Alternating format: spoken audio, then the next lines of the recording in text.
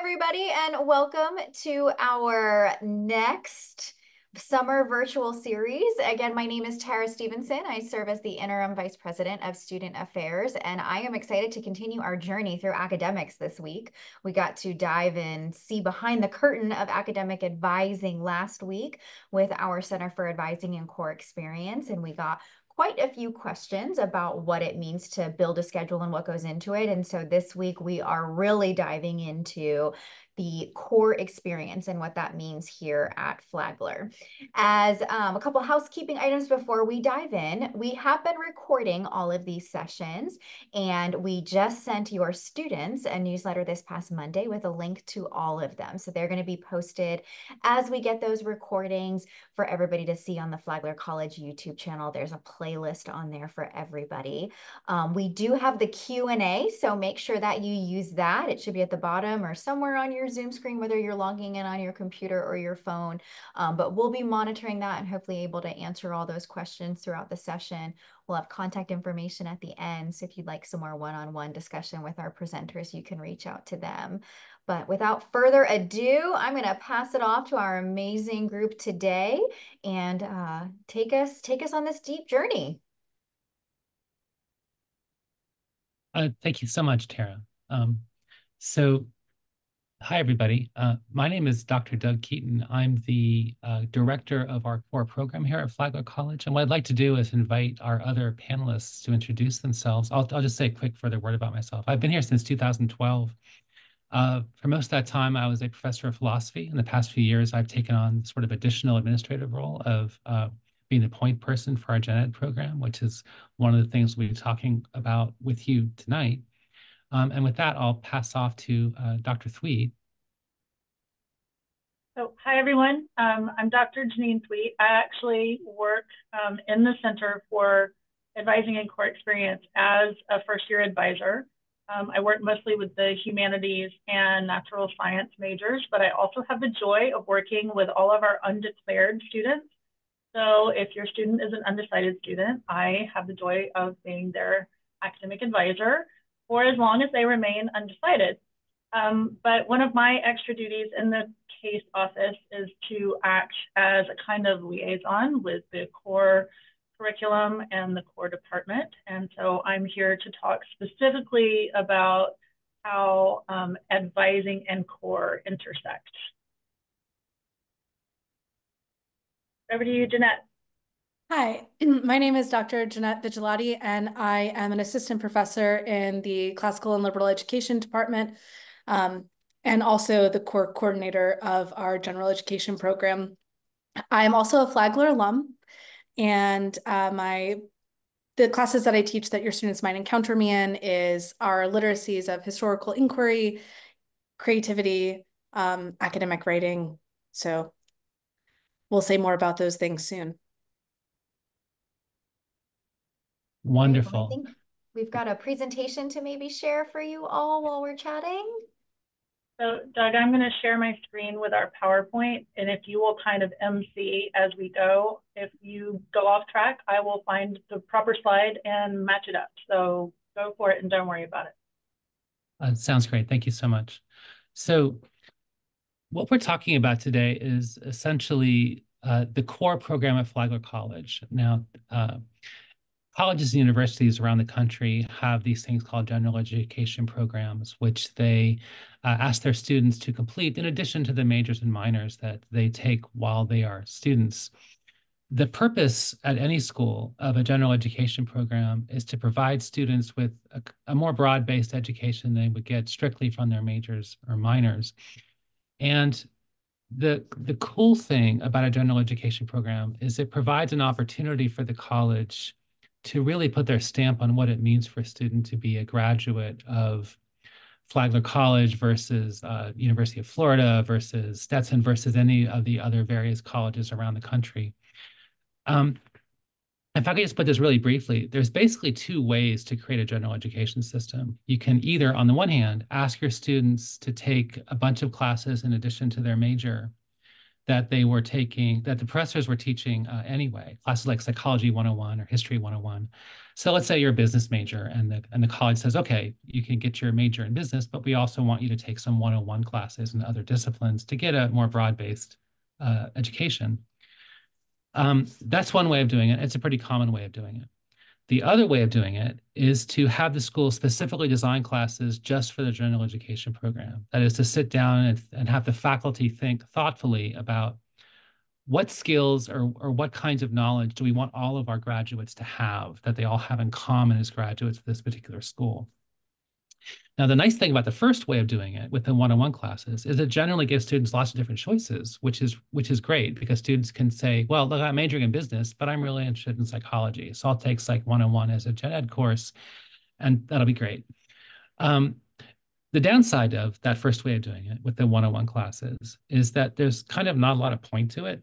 Um, there's no theme, there's no philosophy behind it. Essentially, the school just says, look, in addition to your major, go out and take a bunch of classes, and we hope you get something out of it. So the second way of doing it, which is sometimes called a core system that I just mentioned, is the idea of having specially curated, specially designed classes that the students take that really puts the stamp on the kind of education they get from that school. Uh, the nice thing about that is it lets the school develop a philosophy and a theme and like an idea behind what they want their graduates to have. The downside is, is that it does not seem to have a lot of choice involved. Like all the students have to take this same sequence of special classes that the school has made in addition to their majors and minors. The thing we did here at Flagler, and this really makes our system special and it's something we're proud of, is we combine the best of both, both worlds with that with our system we have a core experience in which all students come to Flagler as new students and they take uh, a set of classes that are intended to convey a skill set, a thinking skill set that we believe is essential to a 21st century college graduate. But those skills that we want all of our students to have are packaged within a range of originally designed and creative options for students to choose from. So for example, one of the skills that we want our students to have is the ability to think about problems from an historical point of view, to think about as problem solvers, what's the history of this problem? How did it come to be this way? And how can we solve it? And that's a kind of learning how to do history. So that's the skill we want our students to have among a range of other skills. To convey that skill, students have a choice of taking a class called, let's say, um, history detectives or a class called uh, Science on the Screen, which is a class about the history of science uh, in movies. And we have a class called um, uh, Antiquities of the Ancient World for students who might be especially interested in like ancient Greece and Rome and places like that. And we have a class much more contemporary who focuses on the question of, let's say, like the history of Ukraine, things like that. And the idea is that we give a wide range of choices. There's like a hundred different choices for students to pick, all of which are intended to convey one of these key skills that we think our students ought to have. So when I say the best of both worlds, what I mean is we combine what we hope is um, a wide range of choices, but still a concentrated, focused skill set that puts a stamp on what we mean by a Flagler College education that all of our students have in common we spent a few years designing this. We've put a lot of thought into it, and we're really quite proud of it. Now, this core system is part of what we're going to talk about with you today. And there's several different elements to it, all of which we have thought carefully about and we've designed to be engaging and helpful for the students as they shape their college careers. And that's what we're going to be talking about um, over the course of the next of the next several of the of the session. So um, Jeanette, do you have anything further to add about the nature of our core program? I think that, um, sorry, one of the things that students really appreciate once they are at Flagler and they have started in their college experience is the core classes because there are it's a really beautiful way to marry interests with skills and i think students can really see the skills that they're going to take away that they can apply to jobs that they are going to have both in college and beyond college. So it really gives them the language that they need to be successful. Yeah i think that that's an excellent way to put it that uh, the faculty you know, again, spent a couple years thinking about this and developed a set of nine skills, nine thinking skills that we think are essential for anyone as a college graduate to have as they enter the 21st century.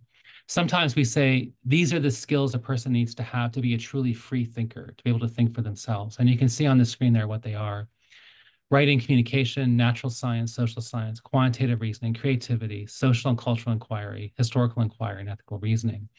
Now, what that means is when I say a free thinker, what I mean is later in life, let's suppose a student is confronted with a problem. Um, it's great to be able to approach that problem from several different angles, to, to think about it like a social scientist, to think about it like an artist, to think about it like an historian. And so that's what these classes are intended to convey. So to be a little bit more specific, the classes that we teach in the core are what we call skill-based, not content-based. And what I mean by that is if again we take historical inquiry as our example, the goal of one of our core history classes is not to memorize a long list of dates. It's rather to teach the students how to generate historical explanations and to look at problems from an historical point of view. So one of the classes, for example, called History Detectives, uh, asks the question, for example, uh, why did Russia invade the Ukraine? And then over the course of the semester, investigates the history of Russia and the history of Ukraine to provide an explanation for why that event occurred. And then at the end of the semester, the students are required to, in a presentation, a public presentation, offer their version, their answer to the question, why did Russia invade the Ukraine? And the goal there is to show the students what it means to give a responsible and informed answer to that using primary and secondary sources so that uh, later in life, when they're confronted with problems, they can address them as historians in that sense. And then the creativity skill does similar things for approaching a problem like an artist. Quantitative reasoning means approaching it like a statistician, and so on. The idea being that to be a truly free thinker, you have to be able to think in more than one way. After all, if when you're confronted with a problem, you only have one way of thinking about it, you're not really very free in the way that you respond to it. So we want our, our, our students to have a real toolkit when they enter the world after graduation, no matter what they're majoring in. So you can see on the left of the screen there, our core classes help students to shape the meaning of their college education while at the same time providing this foundation of carefully curated skills. Uh, Dr. Thweet, when you're talking with students about this course system, um, what kinds of questions do they tend to have and what do you tend to tell them? Well, um, I'm getting lots of those questions these days. Um, so I'm going to start with um, some of the most common and some of the most basic. Um, so one question I get a lot is um, some version of, I thought I'd be taking like basic writing and math, but I don't see any writing and math on my schedule. I just see all this core stuff. Um, and then, right, I have the opportunity to explain that, well, in fact, you are taking writing and you are taking math, um, then they are called core classes at Flagler. So if you also are wondering about that as you're looking at right the schedule that your student has received or will be receiving over the next month, um, you can see on the screen that academic writing is one of our essential core skills. And when that shows up on your student's schedule, it will show up in the form of COR 101, 102, 103, or 104. That is our academic writing set of course codes. So if you see that on the schedule, why yes, um, your student will be practicing the essential skill of academic writing. Similarly for math, um, quantitative reasoning is one of our essential skills in the core. So that is a math class, that is statistics, and that will show up on the schedule as core 141, 142, 143, or 144. Um, so that's a very, very common question that I get a lot. Um, I don't know if we want to segue right into what we call our core bingo chart, um, but I'm happy to go ahead and do that if if that makes sense. I, I right. think that's a really great segue because we do have one question that's come in is are these core classes assigned randomly? Like, how do we determine which student gets what class? And I think this screen is going to really help answer some of those questions. Um, they're certainly not random. Um, every case advisor builds, I, I call this a provisional schedule because it is, in our minds, a starting point for further conversation. We have learned that it's um, much easier for both us and for our incoming students to give them a starting place rather than simply saying, here's how you build a schedule, here are the required courses. Okay, good luck, go for it. Um, and then, right, working to make sure that that everything is correct and everything is appropriate. Um, if we say, here's a schedule, tell me what you like and don't like, and we'll change it from there. Um, that is simply an easier process for all of us. So we have shifted to that mode of doing things. When we make that provisional schedule, we take into account everything that we already know about your student. So um, if we have a major declared, if we know that your student has an interest in a potential minor, um, we will take that into account and get your student into one of those foundational intro courses for that major, or maybe even for that minor as well. Um, we do ask students to fill out a quick survey for us that tells us all sorts of things. Are you a morning person? Are you going to make it to that 8 a.m. class? Are you not? Um, do you want breaks in between all your classes or do you want to arrange your classes in a block and then have the rest of your day free? Um, we ask about previous college coursework. Are you bringing in any credit? Um, we try to gather as much information as we can and then take all of that information into account as we're building that starting point. But we know we're not going to get it 100% right 100% of the time. So if there is something that a student wants to change, we like practically beg them, please reach out to us. You can call, you can email, you can book a Zoom appointment. We're here for you. Um, happily, I feel like I'm getting a lot of outreach from students this summer, more than last year. So this incoming cohort seems a little bit bolder, which is lovely. Um, we do not mind this. So if if there's some anxiety on the student's part about reaching out, please, please reassure your student. These people are lovely and they want to help you, but they can't help you unless they know you want help. So tell them, reach out, click that link, make that appointment. So and it is not random. Guests, so I'm so sorry to interrupt, but for those guests that sat with us last week with the um, Sarah Upchurch from the case office, you know, they got to hear that same thing. And she really went through that why of why we work with students one on one to change the schedules because you know, this chart can be a little daunting at first glance, and we want to make sure that our students are making intentional class choices.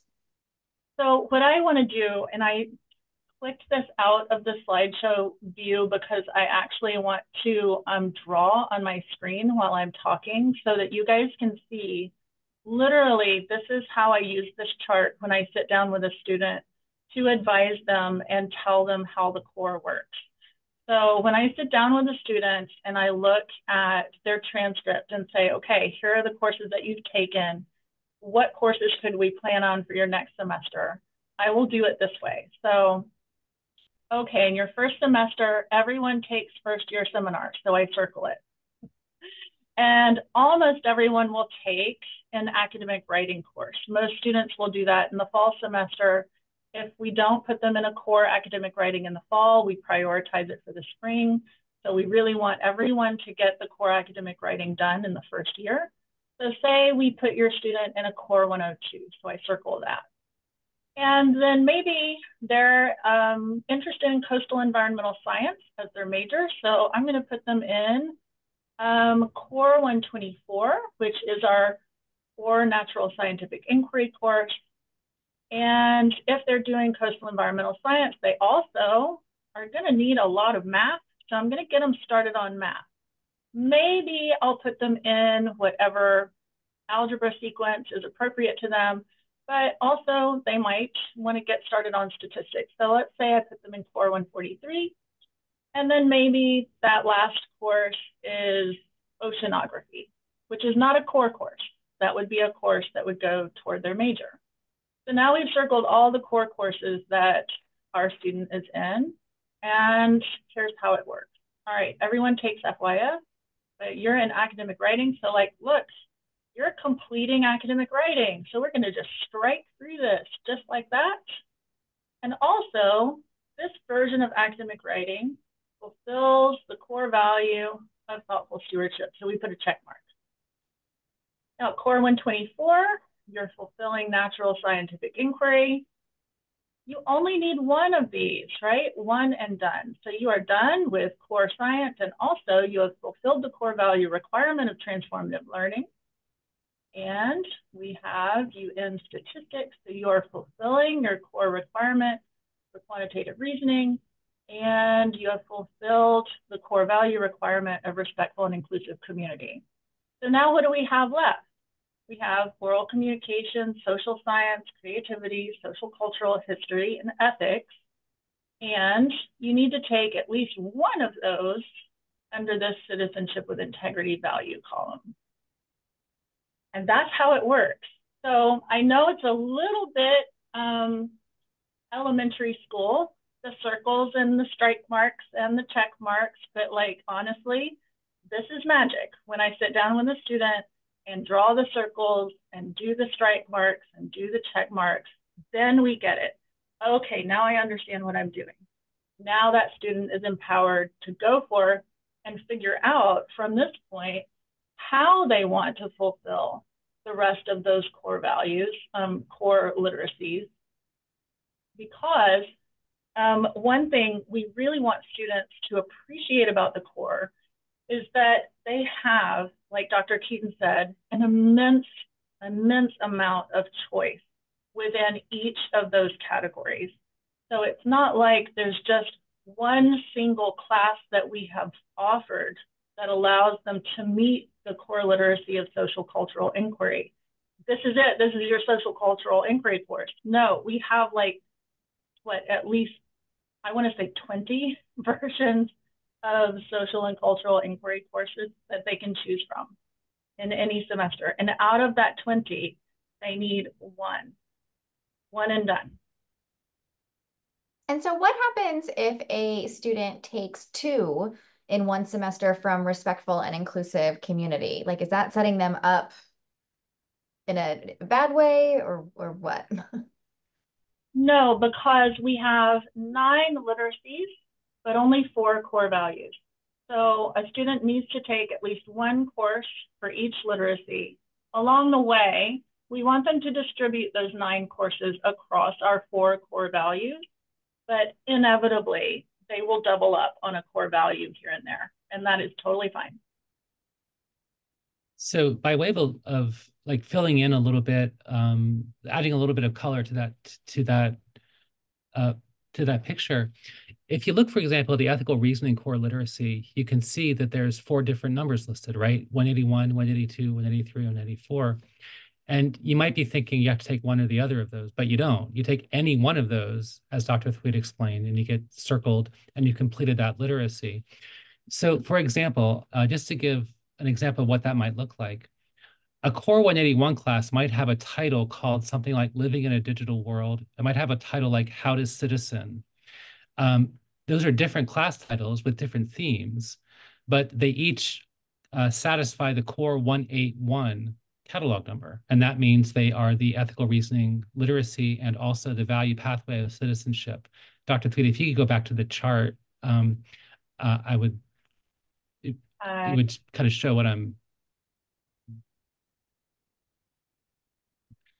uh, describing. So then core 182, under core 182, the titles might be something like, remember, this is thoughtful stewardship, which sounds a bit like environmentalism, right? And ethical reasoning. So you might have a class titled uh, environmental ethics, or you might have a class titled um, ethics of preservation. That would be core 182. Under core 184, we have a class that's very, very popular called uh, A Life Well Lived in which we have two professors of religion and philosophy who talk with their students about different philosophies of what it means to live a good life. And the student takes that class, it'll circle the core 184 thing, and they will have, once again, that satisfies ethical reasoning. So we would just cross that out with Dr. Thweet and put a check mark if we take core 184 under transformative learning. So each one of those numbers you see there can have beneath it a wide variety of titles, but it's the number to focus on when you're thinking about how the chart works. So yeah. filling in the connection between the themes and the and the actual catalog numbers there. Oh, and so, here Dr. Thweet has the list. Yes. So these are our current um, core 180s for the fall. Um, so you can see that students have just an immense amount of choice um, in how they want to fulfill that particular academic literacy. And also, they don't have to fulfill that particular literacy in the fall. They can do it in the spring, they can do it next year.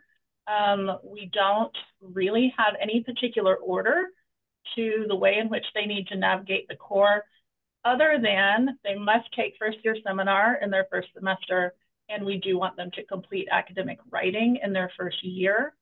And if they're in, if they're headed toward a major that has further math requirements, we do want them to be taking their math um, early rather than late.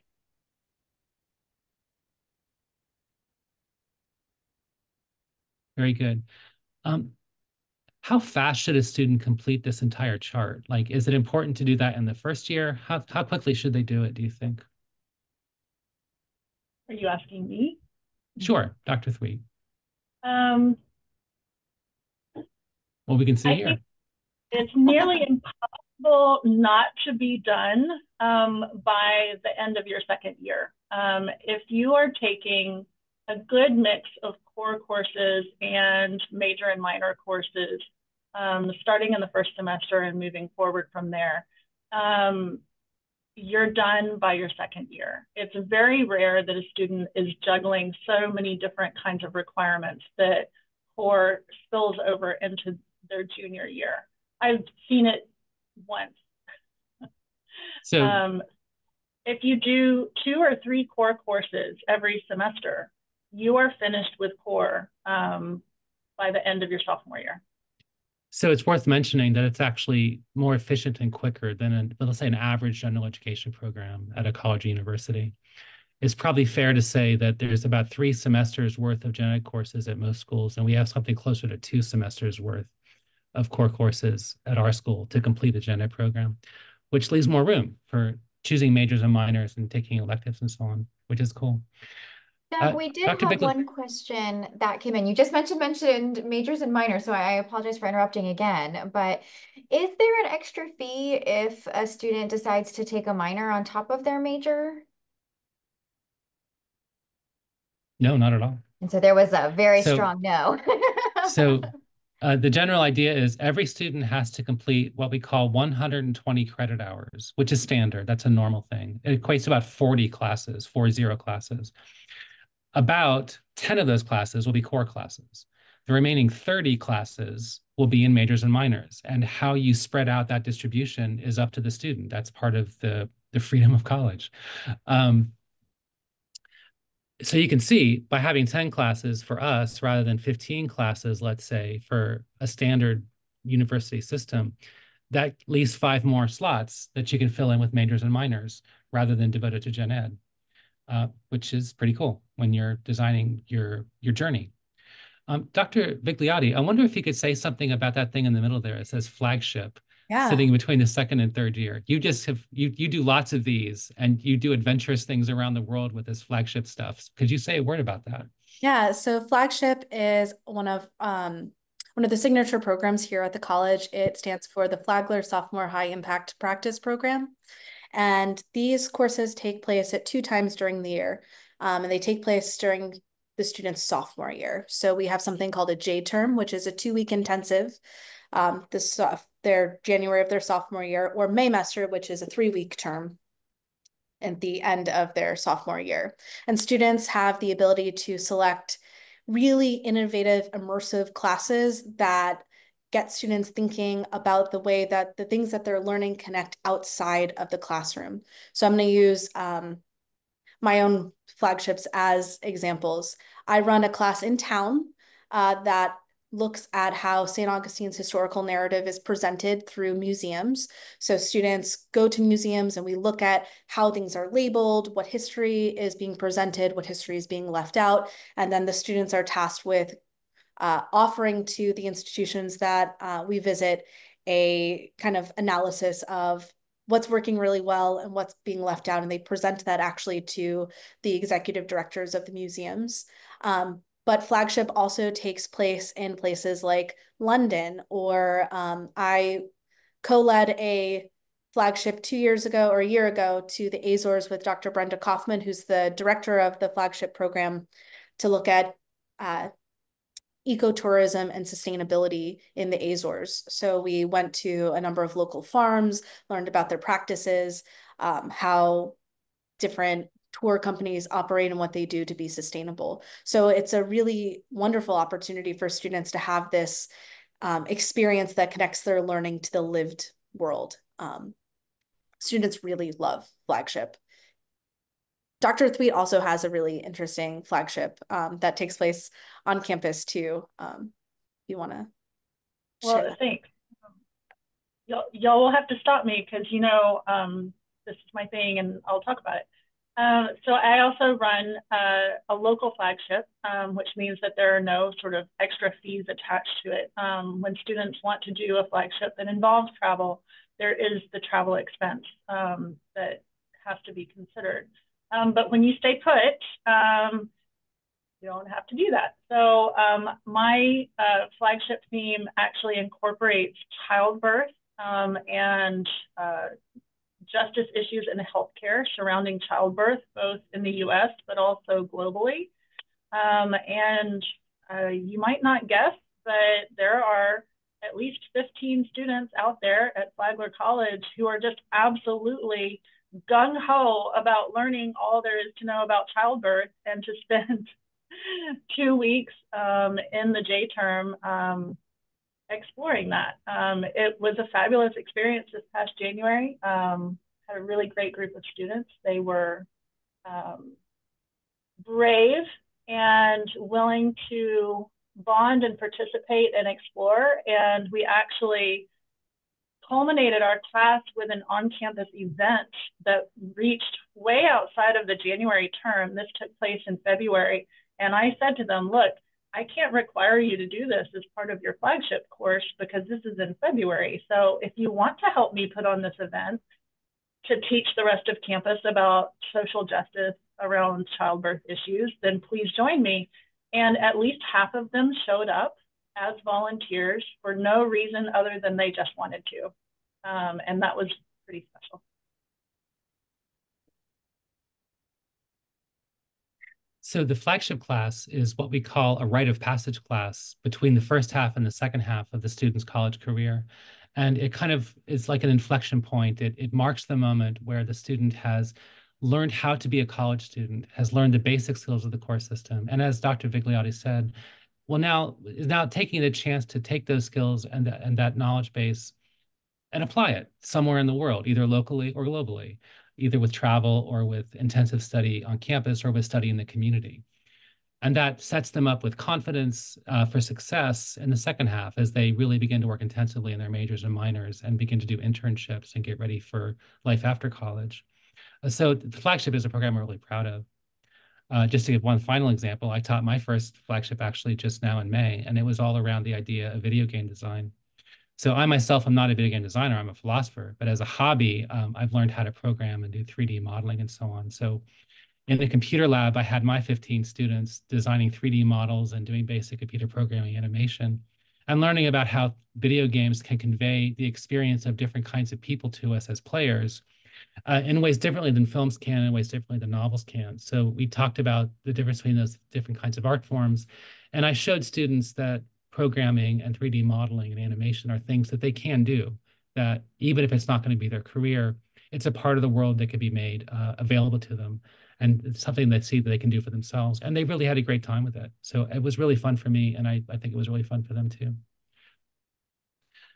Um, Just one final so, thing about flagship before please. we run. Um, much like the core system, the breadth of offerings for the May, Maymester and J term is huge. Things change every year, and we have a fair where students are able to kind of walk around to the different professors and learn about like what is this flagship offer what's the is there any associated costs with travel um, and there's just an incredible amount of choice and um, students really are excited by that variety and opportunity. So good. So yeah, let's let's talk about that schedule a little bit. The general idea is a student will choose their flagship in the first April that they are citizens at Flagler. So if your student is coming here this fall, they will pick, they will choose the flagship course they're going to take in their first April here. They will then take it about a year later, either in January or in May of their second year. So in between there, they've got six months to get get excited, get ready for their flagship, which may involve travel, may involve going to Japan or Africa, may involve just staying right here at home. But in any case, involves an intensive experience. Um, and the opportunity to choose is itself actually a pretty exciting deal, as Dr. Vigliotti said. We do set out in the library a whole array of our professors at tables with like brochures and uh, other kinds of uh, literature to explain what their different flagship experiences will be like. And then the students have a chance to like look at the different options, think about cost, if there's any cost associated with it, talk with their families about it, and make a decision about what they want to do. And then uh, sign up for their flagship, and then take it about, as I say, about a year later. Um, does the flagship yes. program have to coincide with a major or minor? Like, does the topic have to relate at all? So, Dr. Thweet, which is um, no, and in fact, we we really encourage students to take this as an opportunity to branch out and experience something new or go to a new place where they have not been before, um, learn a skill that they don't already possess. Um, and students do, I think, welcome that opportunity. So, you know, we have flagships that are based on um, the skill of photography, and you do not need to be an art major to sign up for that um, photography-based flagship. Um, the same for Dr. Vigliotti's history core, uh, flagship in St. Augustine. You do not need to be a history major or minor for that. Um, so just like all of the other core courses, um, there are no prerequisites to this. Um, we want these to be open to any student who is interested. And it's probably a really good idea for our families and students to have a discussion about what that uh, future investment could look like because it could be a fantastic and exciting opportunity to study abroad, but that will come with a bit more planning ahead of time. It's not to say that they're better or worse. They're they're going to be different kinds of experiences than those that are here on campus or local in town. Um, but just good planning ahead of time if we want to travel all the way to Africa, that that's going to be a bit more involved. Yes. I do want to say I often um, hear the question from students like during ROAR sessions when we talk about flagship and we get really excited about all of the travel. Um, they want to make sure that this isn't their only um, option for study abroad. And that is absolutely right. Flagship is one way that you can travel and study, but it is not the only study abroad opportunity that Flagler offers. We offer several different kinds of opportunities to travel and study abroad. So maybe doing a travel flagship isn't the way you want to incorporate that experience into um, your Flagler education, but that's okay. There are multiple ways to do that. And it's also worth mentioning that uh, for folks who are interested in travel, but maybe worried about the cost of the travel, we do have scholarship opportunities for uh, traveling flagships that you, that students can learn more about at the flagship fair I mentioned, and that uh, we're happy to answer questions about at any time.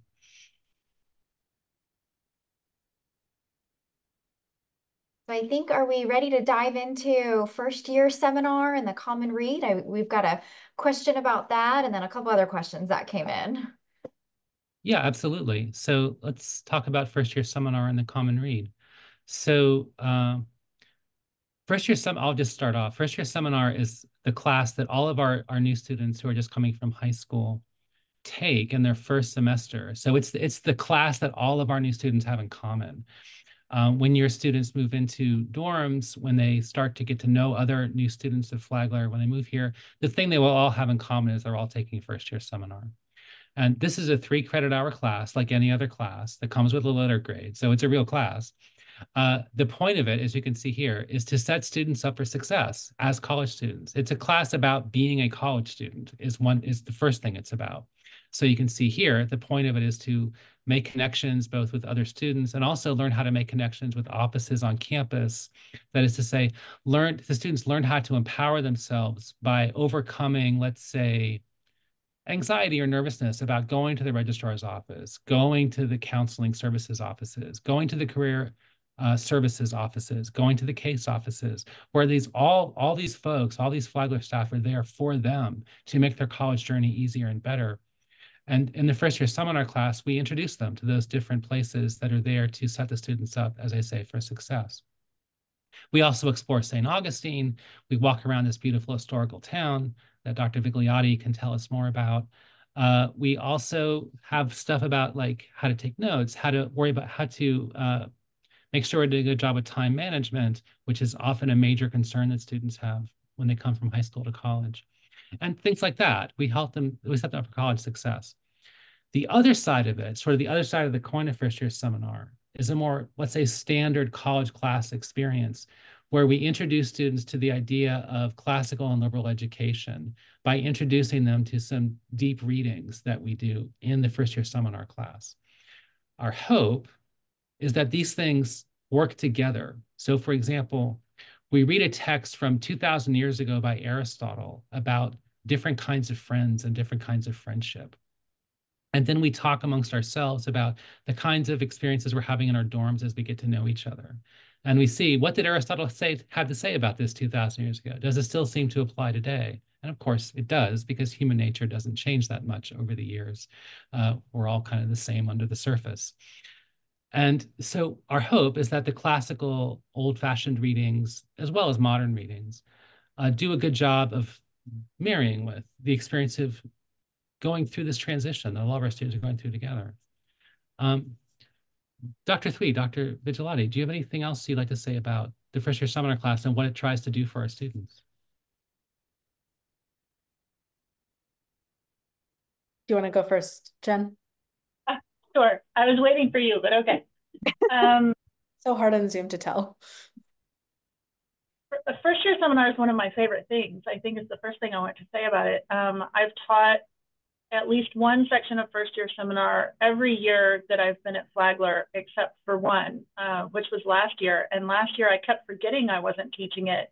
And I kept making lesson plans in my head and then remembering that I wasn't going to get to use them because I wasn't wasn't running a first year seminar section in the fall. Um, and that felt really strange. So I'm looking forward to getting back to it. Um, I do think that the kind of symmetry of these goals, the way they reinforce each other is really important. Um, we want students to be introduced to the larger project of college um, in a way that is both challenging and supporting in equal measure. We want them to, to grasp that there is a kind of academic transition that we're asking them to step out and make right?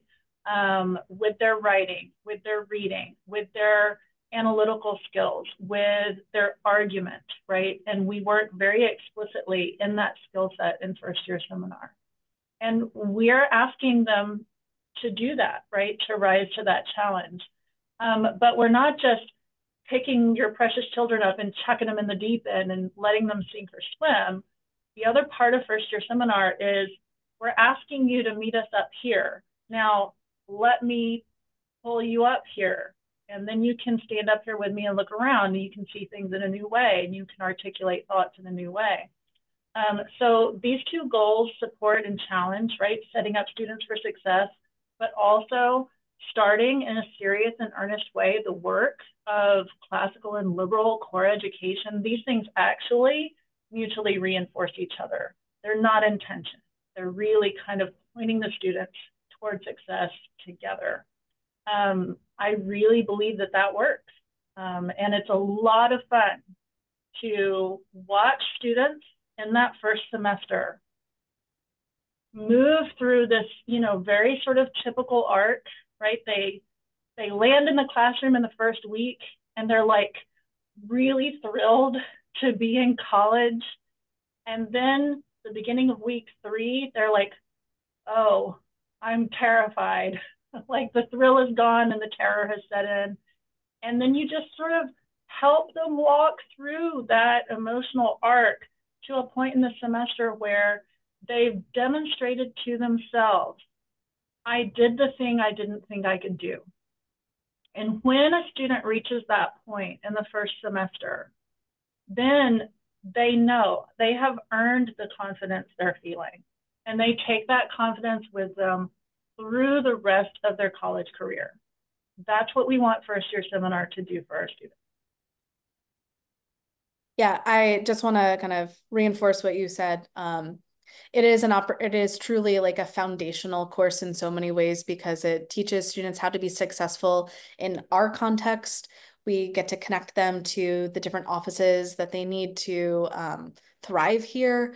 But then we also get to do the really fun thing, which is teach them how to or deepen their ability to critically think um, and one of the things that I really appreciate about first year seminar, I was a first generation college student. So this class I think is really helpful um, for students that maybe are also coming to college without having had a syllabus before. So we have the ability to talk through like, what is a syllabus? How do you find things on Canvas? All this kind of hidden curriculum of college that um, there's not really another place for. And then we get to have really great discussions about things like the common read, which is a really central part to first year seminar. What an amazing segue, Jeanette. so wonderful. Yeah. Thanks. Thank you very much, Dr. Vigliotti, for that transition. Uh, so the common read every year, here's what that is. Every year, the faculty select a book that they would like for their for our incoming class to read as a community. So in the past, we've had books like Into the Wild, uh, Their Eyes Were Watching God, just a variety of different kinds of books. And this year, the book we've chosen is a book called Tomorrow and Tomorrow and Tomorrow by the author Gabrielle Zevin, which was a world, which currently still is, but has been for a, about a year now, a worldwide bestseller, you know, soon to be a motion picture, that kind of worldwide bestseller that uh, has gotten these rave reviews and is about these deep and engaging issues that we think speak speak very well to the college experience and to what the students will be uh, looking forward to, fearing, and also hoping as they as they go through college. So this book, uh, Tomorrow and Tomorrow and Tomorrow, is the story of a boy and a girl who become friends, lifelong friends when they're children, and then meet again in college. Uh, they then uh, form a video game company together straight out of college and to their surprise become uh, world famous because the first game that their company produces is like a, a surprise hit and takes the world by storm and that fame and that transition from childhood to college to fame disrupts their lives and affects their friendship in ways that are um, unexpected and uh, on occasion endearing. You find them both endearing, you find them infuriating, um, all the different kinds of choices they make. And then eventually their dreams come true, but they find out that their dreams, that our dreams are never quite exactly what they what we thought they were going to be. Um, it's one of the messages of the novel. It's also just a great read. Um, it's really well written and it's it's a lot of fun. Um, and there's a lot of great support material. So for example, on the book's website, you can actually play some of the video games that the book describes within it. And you can make your own digital art out of the, uh, uh, to, to look like some of the characters in the novel and so on. So I got a real kick out of showing it to some students just a little bit earlier today, actually, at a Roar Up session. Uh, so we think it'll be a really engaging, fun read for the students. But it's also, I should emphasize, it's it's actually a good novel. Just despite all those frills, it's really just actually a well-written, good novel. So we'll get a chance to explore uh, what it means to read literature at a at a deep level, uh, as well as have fun while doing it. So those were some of the reasons why the faculty picked this book, and we hope it'll be it'll prove to be a great choice. Um, as a final note, I should mention that the author, Gabrielle Zevin, who is currently world famous, uh, will be joining us on September 23rd. Uh, she'll be giving a lecture, signing books, and having a Q&A with the students. And so we're really excited about that. It'll be a lot of fun to host her here. So we had one uh, question come yeah. through. Um, since this is the first year seminar common read, um, and you'll all be discussing different themes and things like that, do those themes carry through their entire time here at Flagler? Is it really just a, a book that is concentrated during the first year seminar? Will they see this again at another point? So the Common Read is a book that uh, is used through the first semester primarily because it's the common read of all the first year seminar classes. There's basically two books that every first year seminar class has in common. The Common Read, this book, and we also have a first year seminar reader, which is it. And there, Dr. Thweet's holding them up. The, the reader is a special Flagler book that we publish ourselves that has a lot of readings that we use in our first year seminar classes, like that Aristotle thing I mentioned earlier. And then against that, we read Tomorrow and Tomorrow, Tomorrow, uh, in this case, in this case for, for this year. Uh, do the themes travel throughout the, the, the whole four years? In one sense, absolutely, because the one of the things that first year seminar is intended to convey is the idea of what is meant by a Flagler education as described by the core values that Dr. Thweet discussed earlier. Uh, we imbue our classes with those values. Our first year seminar discussion is about those values. What does it mean to thoughtfully steward the world we live in? What does it mean to create a respectful community and so on? And so we look for and find those themes in the books that we read, including the novel. And that is a project that we continue throughout the four years, right on into the minors and majors student take in the second half of their college career. But as to the question, is the novel itself going to reappear? No, not not necessarily. Um, some professors may may you know know their students have read it and so bring it up in their classes, but uh, not in a programmatic way. No.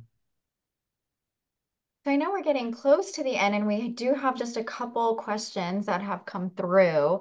Um, so I want to make sure that, that we get to those. Going back to um, the core classes, can students request certain classes? And yes or no, how do they go about that? Is it just an email? Um, so Dr. Thweet. Yes. yes, they can. Um, one way to do that is to um, complete that schedule survey that we send out to our incoming students. Um, we send that out really promptly after a student has completed the math placement process. Um, but if, um, if that link got lost, sometimes it goes to spam folders. Sometimes students have um, trouble finding it. they can simply email their case advisor. if they're not sure who that is yet, fair, they can email our general case office email, which is our initials, CACE at flagler.edu. Um, and then we will get that to the appropriate assigned advisor and they'll take it from there. And another question, you mentioned math placement. If a student took that, I guess within the past two weeks, when will those schedules be released to them? Um, we will be releasing our next batch of schedules July 22nd. All right. Um, and then, um, Jeanette, would you mind letting us know again the approximate dates for those flagship experiences that you were sharing earlier? Um, for like or at least the time frame that yes. they typically happen. Yeah. So in the the fair, we usually do in April of the first year but the classes will take place the sophomore year during January after New Year's, but before spring semester starts, and or in May right after spring semester ends. Um, there's a three week period during their sophomore year. And then I know, um, Doug, you had mentioned scholarships for some of those study abroad trips, um, but we may need to direct families to connect with their financial aid counselor on whether financial aid specifically covers those, or can any of you speak to that? So there's an application process that students are introduced to during the flagship fair, on which they essentially um, fill out an application for scholarship funds for the travel courses, the travel versions of the flagship courses, if they'd like to do them.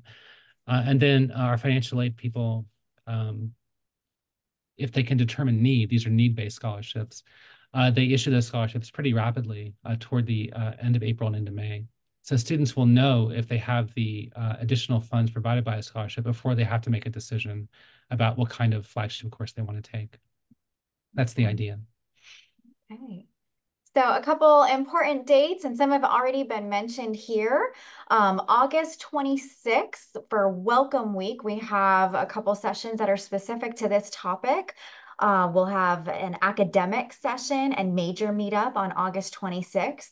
On August 29th, we'll be visiting with you all again and hopefully some students to provide a student panel on their experience with core classes and kind of unearthing some of those truths so that students can hear from students and what it was like to go through the core program. September 3rd is that add drop deadline. So if you haven't had a chance to connect with our case office or a case advisor on changing some of those schedules, they'll be able to do that when they arrive in August, but then September 3rd is that deadline. And then as Doug mentioned, September 23rd is when our Common Read author will be on campus to connect with students. And that's been a tradition now where we've been able to connect the students with the author. And so what an exciting experience to read about it and then to, to connect with them. Um, and a couple other reminders, I will make sure to send out another um, link with the recordings from the past and our upcoming ones. We're going to take the week of July 4th off and hope that everybody has a wonderful holiday, but our next webinar will be July 9th, where we'll be chatting with our student leadership and engagement and campus recreation teams on just getting involved in campus and what is what is here? What is waiting for you? Um, email and phone or phone or is email best? Probably email is best at this point with everybody's summer schedules. And so if you need to connect with any of these offices, this is going to be the best contact information. And then exciting for all of us, today was our first day for our first Roar Up orientation session. And so we still have spots left through our uh, remaining sessions throughout the month of July. So we hope that you'll join us and connect on campus, connect with other students, get to meet with us in person. Um, but a big thank you to our panelists tonight. Thank you so much for joining us. And if anybody has any other questions, please don't hesitate to reach out to us. So I hope you all have a wonderful evening. Happy 4th of July, and we look forward to seeing you soon.